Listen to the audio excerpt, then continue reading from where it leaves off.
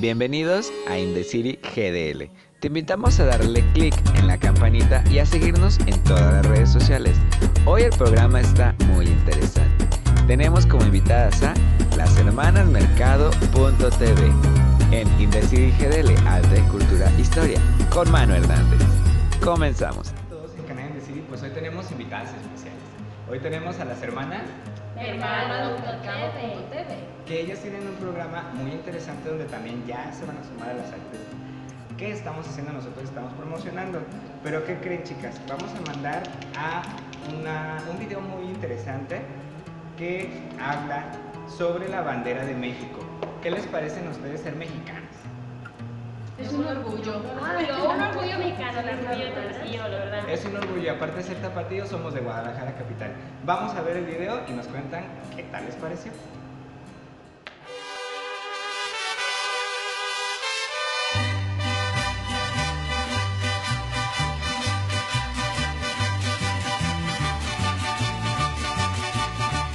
Nuestra bandera fue adoptada desde el 16 de septiembre de 1968. Es uno de los símbolos patrios más significativos de esta nación. Desde la época prehispánica no existía el concepto de bandera como hoy lo entendemos, pero usaban símbolos para identificar la pertenencia a algo. En la Nueva España se da el primer antecedente de algo usado como bandera nacional, un paño blanco con la cruz de Borgoña en cuyos extremos tenía el escudo de armas de la Ciudad de México, aunque este con cualquier otro escudo era también usado en cualquier parte de los territorios españoles. Tradicionalmente se cree que la primera bandera no oficial fue dada por Miguel Hidalgo y Costilla, después de dar el grito de Dolores el 16 de septiembre de 1810, un estandarte religioso que tomó en el atrio de la parroquia de Atotonilco con la imagen de Nuestra Señora de Guadalupe. Las primeras banderas hechas explícitamente para la guerra fueron dos idénticas, mandadas a hacer por Ignacio Allende y posiblemente Juan Aldama e incluso Hidalgo. Este par de banderas o estandartes tienen dos frentes, el principal con la imagen coronada de Nuestra Señora de Guadalupe como símbolo de la cruzada religiosa y por el lado contrario un muy distinguible escudo cuyo centro tiene una águila mexicana. Considerada la primera bandera nacional oficial, la bandera trigarante de las tres garantías o del ejército trigarante se formaba por tres franjas de igual grosor que la cruzan diagonalmente, cuyo alrededor se pueden leer ciertas palabras representativas de aquella época. En 1822 se emitió un decreto donde definían las características del escudo y sello nacional. Eligieron oficialmente los colores verde, blanco y rojo para la bandera en franjas verticales de igual grosor y con el escudo nacional en el centro de la franja blanca. La segunda bandera nacional fue adoptada tras establecerse la primera República Federal en 1823. El nuevo diseño suprimía la corona de la cabeza del águila, pero agregaba la serpiente, que por cierto es una culebra, un ramo de encina y otro de laurel. Así continuó teniendo algunos cambios entre 1823 y 1879. La actual bandera, llamada la Cuarta Bandera Nacional, con el nuevo escudo que se usa hasta hoy 2015, fue obra de los arquitectos Pedro Moctezuma Díaz y Francisco Etens Elguera. La bandera ha cambiado en 13 ocasiones a través de su historia, partiendo del estandarte de Miguel Hidalgo. La actual es llamada la Cuarta Bandera Nacional. Los colores del ávaro patrio simbolizan desde ese momento lo siguiente. Verde, esperanza. Blanco, unidad. Rojo, la sangre de los héroes nacionales. Respetemos nuestros símbolos patrios. Rocío Barrios, aquí estamos. Te invitamos al taller de social media o redes sociales e imagen pública. Aprende a crear tus propios contenidos y a desarrollar tu creatividad. Crea tu propio empleo, conviértete en el número uno. Gana comentarios y likes orgánicos. Informes e inscripciones, Publicidad JRM en Facebook. Síguenos en GDL Coming Soon e Indedirige. La explicación de nuestra bandera mexicana estuvo muy padre, ¿verdad? Padrísimo, verdad. A ver, hermana Mercado, ¿qué vamos a ver? Vamos a ver a Frida Kahlo. ¿Datos interesantes? Datos interesantes. Tú no sabías. Sufrió poliomielitis. Desde pequeña, su vida estuvo marcada por el dolor, pues cuando tenía tan solo 6 años de edad, padeció poliomielitis, una agresiva enfermedad que dejó su pierna derecha prácticamente inutilizada. Debido a su delicado estado de salud, fue sometida a distintas cirugías, pues sus huesos se rompían constantemente. Para ayudar en su rehabilitación, su padre la impulsó a practicar deportes como el boxeo y el fútbol, los cuales no eran nada comunes entre las mujeres de la época. Pero a pesar de los esfuerzos por recuperarse, pasó la mayor parte del tiempo en cama, debido a sus múltiples lesiones. Su infancia fue solitaria, gris y triste, sentimientos que quedaron plasmados en algunas de sus obras. Le practicaron más de 32 operaciones. En 1925, Frida fue víctima de un terrible accidente, pues el autobús en el que viajaba fue literalmente aplastado por un tren. Afortunadamente logró sobrevivir, pero su cuerpo fue completamente atravesado por filosas varillas y barras de metal, lo cual destrozó su columna vertebral, haciéndola entrar en una terrible depresión. Para salvarla y evitar que quedara paralítica por el resto de sus días, los médicos la sometieron a 32 intervenciones quirúrgicas. Desolada, inmóvil y postrada en una cama durante meses, fue como comenzó a interesarse por el arte y gracias a un pintor y amigo de su padre, aprendió a dibujar, para posteriormente liberar su dolor a través de magistrales obras. El arte la salvó de la locura. Era comunista. Luego de su terrible accidente y dolorosa recuperación, Frida empezó a pintar y a visitar los ambientes artísticos y de la política de ideología de izquierda, para después afiliarse al Partido Comunista de México. En ese ambiente socialista y revolucionario fue donde conoció al famoso pintor Diego Rivera. Lo suyo fue amor a primera vista, así que en 1929 decidieron unir sus vidas en matrimonio. Este fue el comienzo de un amor enfermizo, lleno de infidelidades, locura y también mucho arte. Más de 200 obras, mientras que artistas como Pablo Picasso tienen alrededor de 15.000 obras de arte, la increíble pintora mexicana únicamente hizo 200 cuadros, por lo que no es extraño que algunas de sus obras alcancen precios tan elevados en subastas de arte. De hecho, tal y como reveló el portal Milenio Noticias, su pintura titulada Dos desnudos en el bosque rompió récord como la obra de arte más cara realizada por una artista latinoamericana, pues fue vendida en 8 millones de dólares. Primer cuadro mexicano en el Louvre. El reconocimiento internacional de la obra de Frida se inició en la década de 1940 con exposiciones en el Museo de Arte Moderno de Nueva York y el Museo de Arte de Filadelfia. También se dio a conocer en Francia gracias a su amigo y creador del movimiento surrealista André Breton, quien la admiraba profundamente. Su talento, ideales revolucionarios y grandiosa personalidad la llevaron a conocer a grandes pintores de la época como Pablo Picasso y Vasily Kandinsky, con quienes también tuvo gran amistad. A raíz de esto, tomó gran fama y tal como menciona la cadena BBC Londres, su obra titulada Autorretrato El Marco fue el primer cuadro mexicano aceptado en el Museo del Louvre en París, por lo que fue expuesto en una de sus salas en aquella época, algo que sin duda llenó de orgullo a la pintura mexicana. La peor infidelidad que sufrió. Su vida estuvo llena de tormentos. Su amor por Diego Rivera era tan intenso como enfermizo, pues a pesar del daño y sufrimiento que le provocaban las infidelidades de su marido, ella permanecía a su lado. En su diario, Frida plasmó una frase que ha pasado a la historia y manifiesta claramente su sentir por este artista.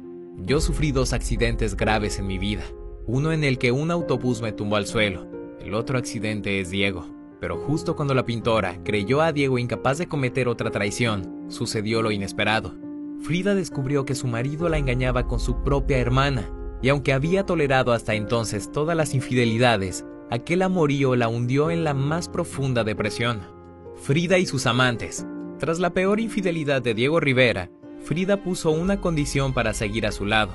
Su matrimonio sería una relación abierta en la que cada uno podría tener otras parejas. A raíz de ello, Frida comenzó a tener relaciones no solo con hombres, sino también con algunas mujeres, lo que despertaba los celos de Rivera. De acuerdo a diversos historiadores, así como al diario El Universal, entre los amantes de Kahlo se encuentra el líder ruso León Trotsky, quien por cierto vivió en su hogar durante algún tiempo. En la lista también se encuentra el fotógrafo Nicolás Muray, e incluso se rumora que tuvo un intenso romance con la cantante Chabela Vargas, a quien Frida admiraba muchísimo. Sufrió cuatro abortos.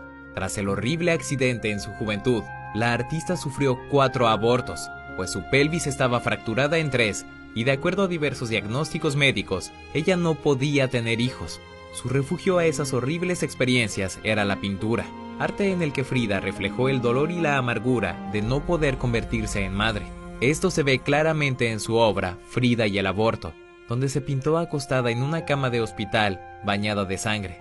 De su estómago todavía hinchado, se desprenden seis venas que conectan su cuerpo a distintos símbolos. Entre ellos aparece el feto de un bebé varón, ya que la artista anhelaba tener un niño y aunque nunca lo logró, cuando hablaba del tema se refería a él como el pequeño Dieguito. Ícono de la moda y el rock, actualmente Frida Kahlo no es solo una de las más grandes figuras de la pintura mexicana, sino también un ícono de la moda y todo un personaje en la cultura popular. Su vestimenta típica se ha convertido en referente del folclore mexicano y muchos artistas han tomado inspiración en su característico peinado. Un ejemplo de ello es la cantante Beyoncé, quien honró la memoria de Frida con esa vestimenta.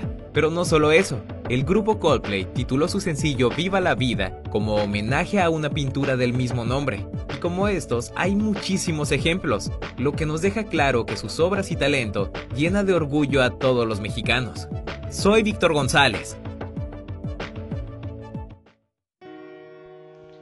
Estación Flotante, una exposición que no puedes dejar de ir a ver al Museo de Arte de Zapopan, en la cual verás algo con lo que el artista estuvo naufragando, pero al mismo tiempo te vas a dar cuenta que hay un kayak, está totalmente flotando en el aire, pero puedes ir a ver.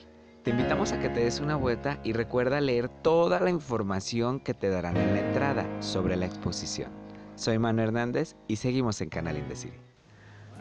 ¿Qué tal les pareció lo de Frida Kahlo? Estuvo muy interesante, ¿verdad? Que me encantó. Pero ¿qué creen? Ahora viene algo más padre porque en Indeciri somos historia también y somos cultura. ¿Qué vamos a ver, hermana? Datos históricos. No se lo pierdan porque están muy interesantes y ya saben que aquí tengo la escaletita. Hasta que se cierre, se acaba el programa. Observa. Comparte. Todo comenzó cuando Porfirio Díaz fue elegido como presidente de México en 1910. Este hizo que mucha gente estuviera inconforme, ya que Díaz prometió no volver a ser presidente. Francisco y Madero llama un levantamiento contra Porfirio Díaz el 20 de noviembre de 1910 y surge la Revolución Mexicana, que es la primera del siglo XX. Tiempo después, Díaz es derrotado y abandona el país. Es entonces que Madero es elegido como presidente de México en 1911 Sufragio efectivo, no reelección. Madero tiene un mandato muy corto, ya que es traicionado por Victoriano Huerta, al mismo tiempo que se forman tres grupos.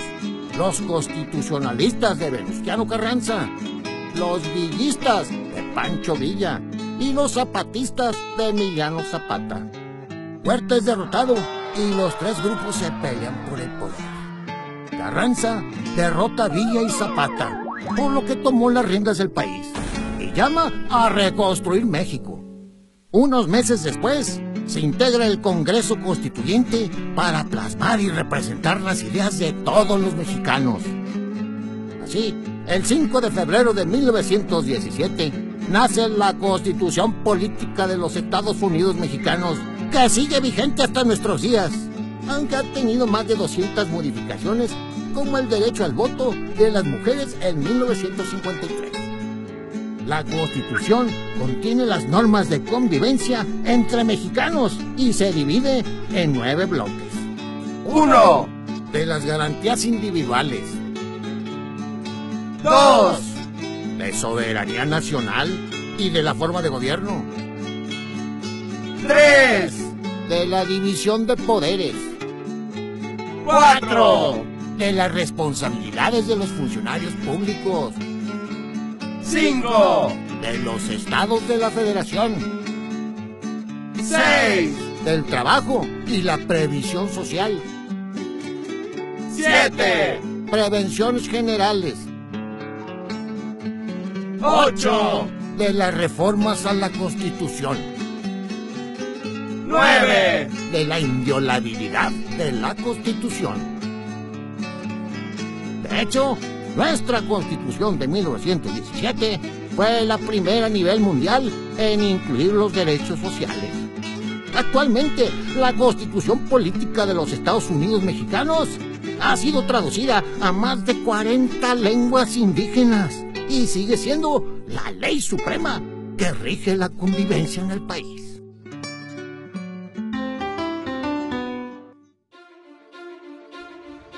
Linotipia de Ana Paula Santana trata de máquinas que se usaron anteriormente para la impresión. En el más está en el área donde están los libros. No te la puedes perder, es una exposición muy interesante. Y le mandamos un saludote a nuestra amiga la artista Ana Paula, que está trabajando por las artes de Zapopan. No te lo pierdas, recuerda que estas máquinas son parte de lo que se hacían los carteles y hoy en día ya somos totalmente digitales. Pero la historia es parte de nosotros. Se encuentra en el MAS, Museo de Arte de Zapopan. Soy Manu Hernández y continuamos en Canal Indecible. ¿Qué tal los datos históricos? En México estamos llenos de cultura arte y tenemos un montón de datos.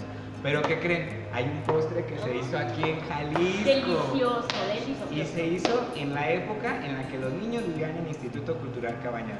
Hermana Mercado, ¿cuál es? La jericaya, que no puede faltar aquí en Guadalajara. Los quemaditos de arriba. Y ese postre se hizo porque, ¿qué creen? ¿Qué? Fue un error porque se les quemó, pero qué error tan Ah, delicioso. Es el que todos los errores me gustan. Quiero la más quemadita. Vamos a ver la jericaya, cómo la pueden hacer. Vamos a aprender a hacer deliciosas jericayas. Necesitamos 6 yemas de huevo, una rajita de canela, una leche evaporada, un litro de leche, dos cucharadas de vainilla y una taza de azúcar. Vamos a incorporar la leche evaporada y el litro de leche.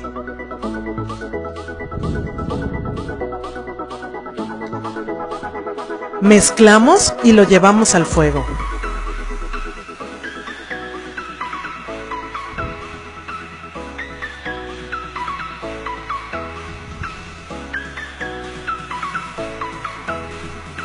Ahí agregamos la rajita de canela, la taza de azúcar y las dos cucharadas de vainilla. Mezclamos muy bien y dejamos que hierva por 8 minutos.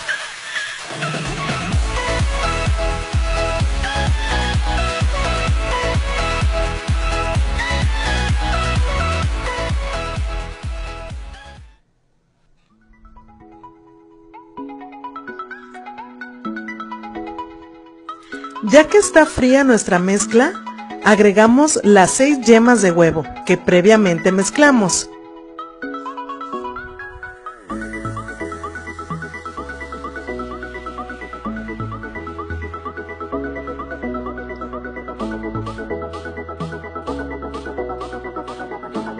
Ahora con nuestra mezcla vamos a llenar los moldes para jericaya, del tamaño y forma que más te gusten.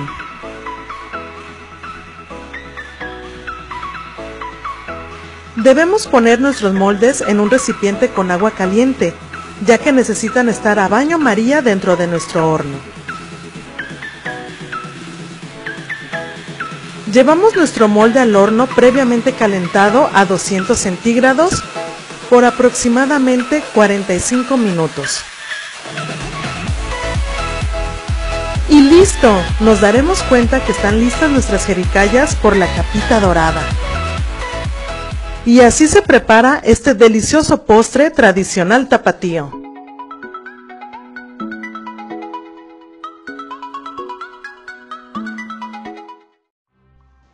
Te tenemos regalos. No te pierdas esta exposición en el MAS y a la persona que nos diga el nombre de esta genial exposición que se encuentra en el MAS Museo de Arte de Zapopan, le vamos a obsequiar una cortesía doble para Dracos, Inframundo de Dragones, en Teatro de Ana, que se llevará a cabo el sábado 27 de abril a las 16.30 horas. Participa, soy Manu Hernández y no te pierdas la oportunidad de ir. Es uno de los postres muy típicos de nosotros y la verdad buenísimo porque lo encontramos en todos los mercados, hasta en el tianguis, en todos lados y es parte de nuestra cultura. Fácil de preparar aparte. Y ¿Ya si se te quema sabe más buena. Sabe más buena. Así que no se lo pierdan la receta, háganla y pónganos un, un post aquí de qué o cómo les quedó la jericaya. Hermano Mercado, ¿qué Vamos sigue? a los libros más raros. Y son libros que tienes que buscar. Libros de historia. Los cinco libros más raros y misteriosos de la historia. Durante miles de años el hombre ha plasmado sus conocimientos en distintos libros, y aunque muchos suelen ser conocidos y leídos en el presente, hay otros que son muy extraños y pocos saben de ellos. Es por eso que en esta ocasión queremos que conozcas algunos de los más extraños y desconocidos. 1. Excalibur. Se ha dicho que este libro puede volver loco a aquel que lo lea. Se trata de un ensayo escrito por Lafayette Ron Howard, fundador de la cienciología, quien aseguró haberse inspirado a escribirlo luego de ser declarado clínicamente muerto durante una operación. Aunque supuestamente solo contesta algunos enigmas como ¿quiénes somos y de dónde venimos? Se rumoró que todos aquellos que tuvieron contacto con el libro sufrieron algún tipo de problema psicológico. Aunque no fue publicado, este libro es considerado uno de los más perturbadores en toda la historia. Así como este hay otros muchos más increíbles que seguro no conocías. Quédate y descúbrelos. 2. El Picatrix. En realidad se trata de un grimorio, un tipo de libro de magia de la Edad Media. Sus 400 páginas no solo contienen la fórmula para crear talismanes mágicos, sino que también hablan de cómo ciudades enteras fueron construidas con los principios de la magia astrológica. Debido a su contenido intrigante, se convirtió en un libro muy popular en siglos anteriores. Aunque originalmente fue escrito en árabe, existen distintos ejemplares en latín. Lo que sigue siendo un misterio es quién fue su verdadero autor. 3. Código Gigas. Conocido también como el Código del Diablo, se cree que este antiguo manuscrito medieval fue escrito en una sola noche por un monje checo que estaba encarcelado. Durante el siglo XIII fue considerado uno de los más sorprendentes debido a su increíble tamaño, el cual alcanza los 22 centímetros de alto y pesa 75 kilogramos. En sus 624 páginas escritas en latín, contiene pasajes de la Biblia, listas de personas muertas y algunas curas medicinales. Según la leyenda, el monje lo hizo tan rápido porque contó con la ayuda del mismísimo diablo. Investigadores creen que fue escrito por una sola persona, pero desconocen si se hizo realmente en tan poco tiempo. 4. Libro de Thoth. Es considerado un libro sagrado y misterioso debido a que fue escrito por Thoth, el dios de la sabiduría. Se dice que este texto del antiguo Egipto contiene una gran cantidad de hechizos que incluyen comprender el habla de los animales y percibir a los dioses. Según la leyenda, la persona que lo lea podrá dominar la tierra y los cuerpos celestes. Sorprendente, ¿verdad? Y aunque se dice que fue destruido, se sabe de su existencia gracias a que se conservan fragmentos de él en diferentes papiros. Manuscrito de Voynich. Creado en el siglo XV, este manuscrito está lleno de imágenes y textos que hasta ahora nadie ha descifrado. Debido a que su último dueño fue el bibliógrafo Wilfrid Voynich, fue que se le dio ese nombre, pero en realidad se desconoce su autor. Y no solo eso, nadie entiende en qué idioma fue escrito y qué es lo que realmente significa todo lo que contiene. Debido a estas incógnitas, algunas personas han sugerido que se trata de una estafa. Como puedes ver, todos estos libros ocultan muchos misterios sin resolver, lo que los hace aún más interesantes. Si pudieras leer alguno, ¿cuál escogerías? Esperamos te haya gustado este video. Si fue así, danos like, comenta y compártelo. Nos vemos hasta la próxima.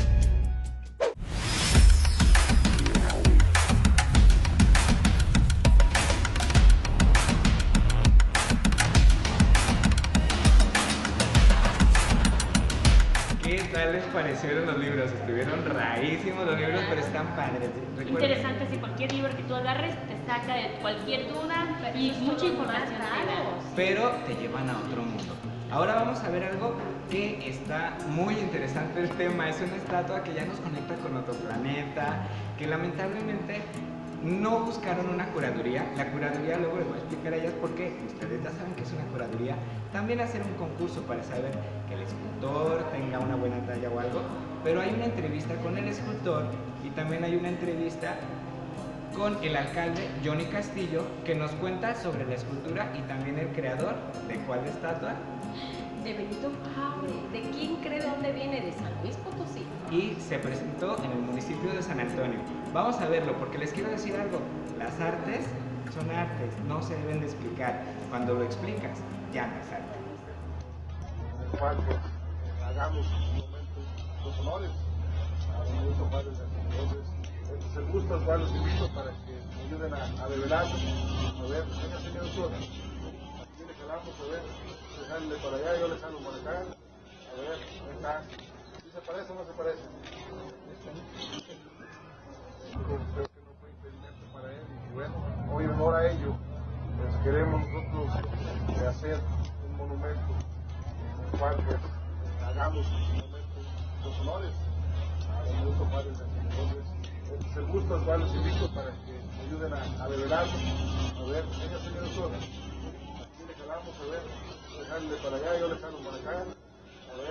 a, a. A y con un grupo de amigos eh, tomamos la iniciativa y el acuerdo de mandar a hacer una, un monumento, una escultura. Y me dice un amigo, yo tengo un amigo ahí en tal lado, podemos mandarla a hacer, apenas empieza, pero vamos a darle la oportunidad. Va, me parece muy bien. Y yo voy el día lunes este, a San Luis, voy a Escalerillas precisamente con Amado Montalvo, quien es un artesano potosino, un escultor potosino, y le pago mi aportación, 1.500 pesos, y es como me traigo el busto, lo veo, bueno, voy a hacer la crítica y la polémica de mi cabecera municipal, pero va, la cosa es hacer cosas en San Antonio. Es dije. decir, antes de develar la escultura, usted ya estaba Sí, de eh, lo que iba a generar eso. No tanto así, o sea, esto trascendió y rompió fronteras, pero más sin embargo, consciente que a lo mejor iba a ser motivo yo, no el monumento, un motivo de burla, pero algo importante que quiero resaltar, eh, a Natural se ve y le da un parecido a, a don Benito Juárez García, pero al momento que le pones este el esmalte, no sé cómo se llame, este cambia totalmente, cambia, le da otro aspecto muy diferente. Y bueno, sí, sí, sí. Ya tiene esmalte, o sea, cambió totalmente. Mas, sin embargo, creo que aquí hay algo, algo que resaltar es que primero no se pagó del erario público y lo pueden constatar, apenas ayer nos autorizaron el recurso. Segunda, es la esencia de quién es Don Benito Juárez, cuál es el legado que nos deja. Y hay algo que es importante, San Antonio es población indígena, 98 casi por ciento de población indígena, casi el 80% en pobreza y en condiciones de pobreza casi el 50%. Somos un municipio pequeño y qué bueno que pasó esto, porque hoy yo quiero que volteen a ver a San Antonio. A San Antonio requiere fuentes de empleo y ojalá y si la iniciativa privada nos está observando, alguien le quiere apostar a San Antonio, venga a San Antonio, construya su empresa, haga una maquila ahí para que le podamos dar empleo a la ciudadanía. Mira, por respeto al artesano, al escultor, la escultura se va a quedar, el monumento se va a quedar, porque hoy estamos apoyando a los artesanos. Prueba de ello, el día 4 de abril aperturamos la Casa del Artesano. Eso es dando pie y dándole credibilidad, que creemos en la gente artesana, que que queremos darle el impulso también a los artesanos, porque también hay manos mágicas que también hacen cosas importantes en nuestro municipio de San Antonio. Pues como todos los demás, fue un meme y pues a reírnos un poco también, pero sin faltar de respeto a quien en vida fue don Benito Pablo Juárez García, el mejor o uno de los mejores presidentes que ha tenido la nación, que ha tenido México. Eh, es- es de cantera y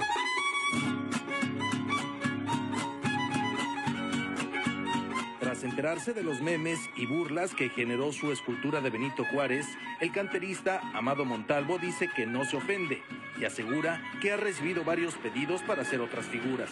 Sí, ya de hecho está cayendo más trabajo. Si se parece o no se haya parecido, es cosa de la gente también que pone de más cosas que no, no, no son, o algo por burla o algo, pues pueden poner lo que, lo que quieran ellos. Mientras yo esté consciente y esté bien, no, no, no me afecta nada a mí. La mayoría de la gente que vive en la comunidad donde Amado creció se dedica a trabajar la cantera. Y aunque para muchos el busto del oaxaqueño parecería obra de un escultor incipiente, él asegura tener experiencia. Pues tengo 28 años, empecé yo creo como desde que estaba tenía unos 10 años. Amado cobró 1.500 pesos por elaborar el busto de Juárez, que desde el 21 de marzo se exhibe en el acceso a la presidencia de San Antonio, en la Huasteca, uno de los municipios más pobres y marginados de San Luis Potosí. Lo bueno es que ahora decenas de visitantes llegan al pequeño pueblo para tomarse una selfie con el busto de Juárez. Sí, pues gracias a eso está como que está cayendo más, o sea, donde se hizo viral y pues ya, o sea, se, se dio más a conocer el, o sea, el trabajo que ellos hacen. La gente que se siga burlando, yo de todos no voy a ganar nada de, con ellos de la gente. Al contrario, que le pongan más like para que, o sea, se haga más famoso, o sea, el, el busto, nada más, más que nada. En San Luis Potosí, Milenio Noticias.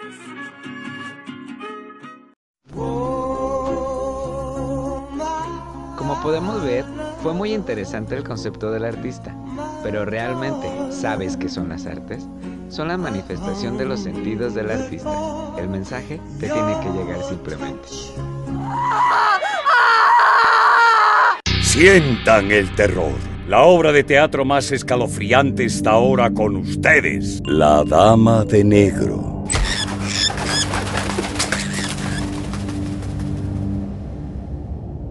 ¿Van a venir o tienen miedo? Lo de la estatua, perdón. Ya hicieron hasta memes, estuvo un montón de la estatua más famosa de todo el mundo, porque ya no es el derecho ajeno es la paz, no, el derecho al espacio ajeno es la paz. Entonces ya creció tanto que la verdad es la estatua más famosa porque nadie sabemos dónde está el municipio, muchachos. Entonces, ahora ya lo conocemos. Hay que hacer una aquí en Guadalajara, yo la hago si quieren, la hago mal hecha y, y la hacemos entre todos para que se viralice en todos lados y para que se vea Guadalajara, muchachas. Pero ¿saben qué? Vamos a conocer la historia que es la que nos interesa, por lo cual se hizo esta estatua. ¿De quién es corazón? La historia de Benito Juárez Que es nuestro presidente que decía el derecho al respeto ajeno. es la paz. Vamos a ver. Benito Juárez nació en Oaxaca el 21 de marzo de 1806 en San Pablo Guelatao. En 1847 fue elegido diputado y en 1855 fue nombrado ministro de Justicia e Instrucción. En 1858 se convirtió en presidente de México y promulgó leyes que eliminaron viejos privilegios del clero. Fue reelegido en 1871 y se preocupó por expandir la educación y extender las vías de comunicación. Benito Juárez fue grande en la guerra y ejemplar en la paz. Murió el 18 de julio de 1872 en el Palacio Nacional, Ciudad de México. Y bueno, pues muchísimas gracias. Hoy estamos aquí con las hermanas Mercado. Vamos a despedir ya el programa. Estoy como cuando dicen, esto es todo por hoy. Pero antes de eso, quiero que ustedes sepan lo que, lo que Jorge Bucay piensa sobre la felicidad. Él nos dice que ser feliz comienza por uno desde adentro. Y la verdad, nosotros hemos pasado, somos medios de comunicación. Y si nosotros mismos no compartimos la felicidad contigo desde dentro hacia afuera, pues no vamos a hacerlo. Le mando un saludo de Augusto Carriles, que me dijo un día, muchachos, si no vas a sonreír, no salgas. Si no vas a hacer o te vas a divertir con lo que haces, no lo hagas. Entonces, la verdad, es un concepto de vida muy bonito en el cual los invito a verlo. Y después del video que viene de Jorge Bucay, viene un video que le dedico a toda esa gente que le han dicho no puedes, porque sí puedes. Y el video se llama Florece y Prospera, que es la historia de un niño al que le dicen no puedes, no puedes, no puedes, le rompen todo lo que hace, pero ¿qué creen que hace el niño? Se convierte en artista plástico y es uno de los artistas más famosos. ¿No le suena parecido esa historia? Claro que sí, recuerden, querer es poder. Así que muchísimas gracias. Sus redes, chicas, para que la sigan. hermanasmercado.tv Y en su Facebook también las pueden seguir como hermanasmercado.tv. Nosotros somos Indecidi GDL. En esta ocasión estamos aquí en Conjunto de Artes Escénicas. Y muchísimas gracias a todos los medios digitales que nos acompañaron hoy a la rueda de prensa de Film Pro. Y nos vemos por allá porque recuerden que las artes nos unen. Y se cierra. Estoy convencido que la felicidad no tiene nada que ver con estar contento. La gente confunde felicidad con alegría y por lo tanto hace pasar la felicidad por las cosas que le pasan. Cree que es feliz cuando le pasan cosas buenas y creen que no lo es cuando le pasan cosas malas. La felicidad de la que yo hablo tiene que ver con otra cosa. La felicidad que yo hablo tiene que ver con la paz interior, tiene que ver con la serenidad, tiene que ver con la certeza de estar en el camino correcto. Y estar en el camino correcto no es un accidente, es una decisión, es una construcción, es una acción. Ser feliz o no ser feliz, por supuesto, depende de ti. Y como depende de ti, depende también de lo que tú hagas para ese camino, de lo que tú decidas para ese camino, y por lo tanto es tu responsabilidad. Me parece muy justo aclarar que por lo menos para mí, la felicidad no es un derecho de todos, es una obligación de cada quien.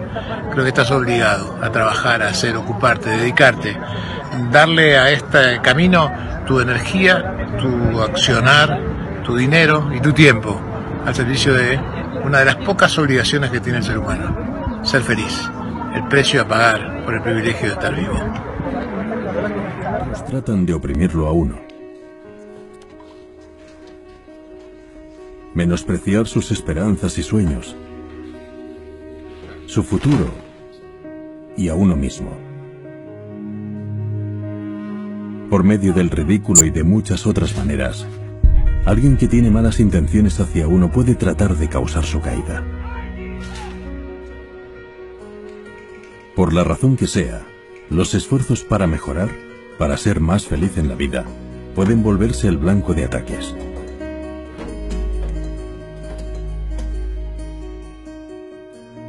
Algunas veces es necesario manejar esto directamente.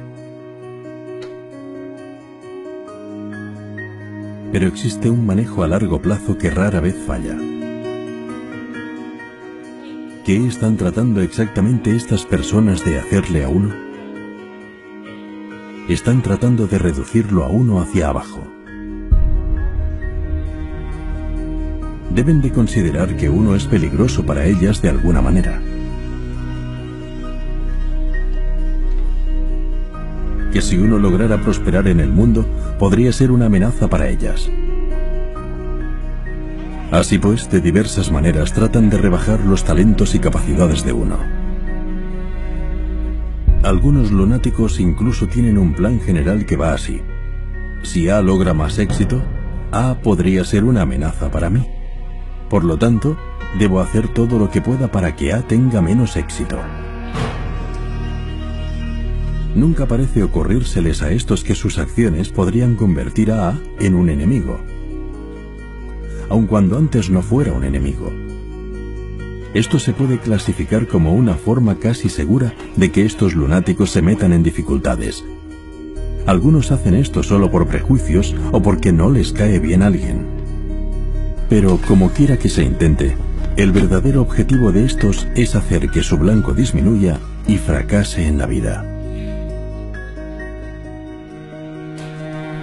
El verdadero manejo de esa situación y esa gente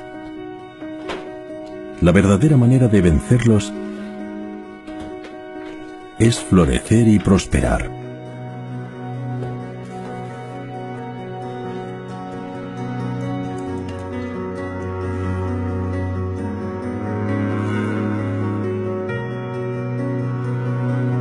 Claro, es cierto que esa gente, al ver que la suerte de uno mejora, puede ponerse frenética y atacar mucho más fuerte.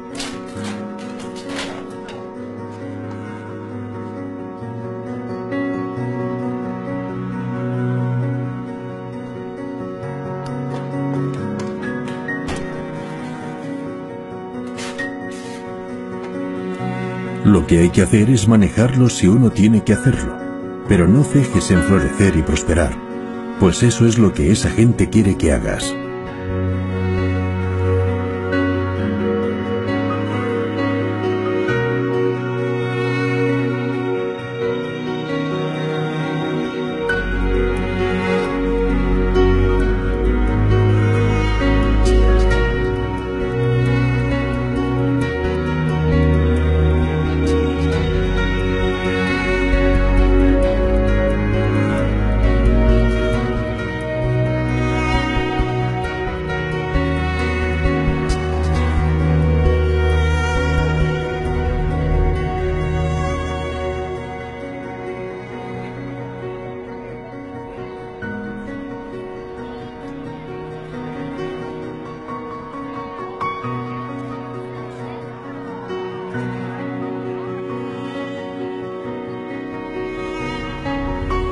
Si floreces y prosperas más y más, esa gente entrará en apatía al respecto.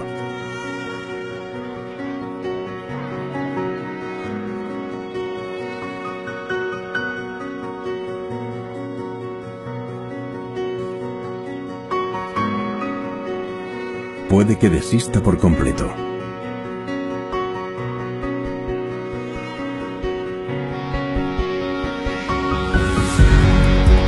Si las aspiraciones de uno en la vida valen la pena. Si uno florece y prospera,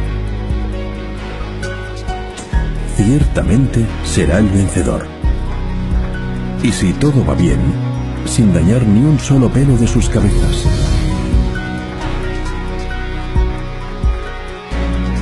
Y ese es mi deseo para ti. Florece y prospera.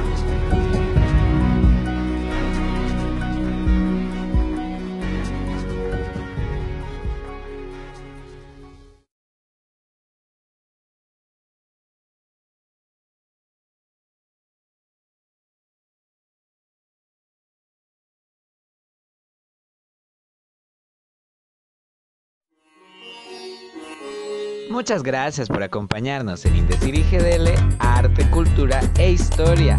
Recuerda, te invitamos a darle clic a la campanita en YouTube y a esperar nuestros nuevos visuales en Indeciri GDL, Arte, Cultura e Historia con Mano Hernández. Hasta la próxima.